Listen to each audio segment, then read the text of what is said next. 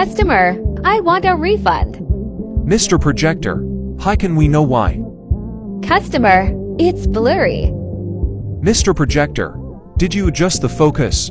Customer, oh, no, I didn't. I did it and it works now. Mr. Projector, glad I fixed your issue. Here is a free tripod for the confusion.